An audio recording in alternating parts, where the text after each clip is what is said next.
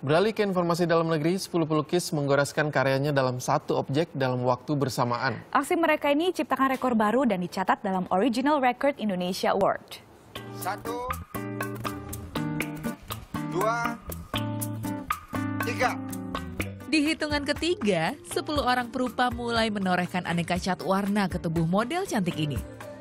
Dalam waktu tiga menit saja, berbagai corak seni abstrak lukisan mengenai alam tergambar di atas kulit dan pakaian model. Aksi lukis dari 10 seniman tato, make up, dan seni lukis ini menciptakan rekor baru.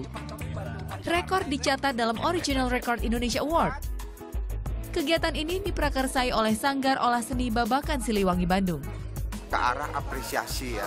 Kita memberikan apresiasi sebesar-besarnya kepada seni, seniman lukis uh, untuk memberi uh, untuk membuat rekor kolaborasi 10 pelukis dalam waktu bersamaan.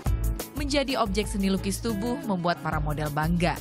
Selain jarang, aksi seni ini memberikan wawasan baru bagi mereka baru pertama kali sih ikutan body painting. Soalnya emang jarang banget ngadain acara seperti ini ya.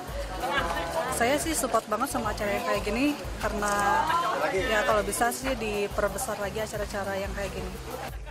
Model berhijab tak mau ketinggalan. Mereka ikut meramaikan acara dengan seni lukis tubuh yang diserasikan dengan lukisan kanvas yang telah dibuat sebelumnya.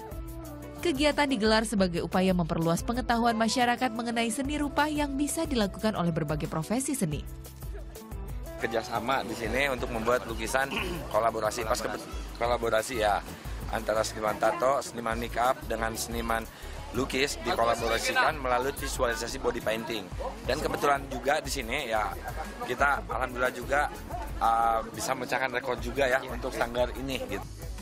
Selain pelaku seni rupa, aksi body painting ini diikuti ratusan fotografer Bandung. Mereka mengabadikan para model dengan pose yang sesuai tema acara yaitu alam. Ikwan Sabah melaporkan untuk NET.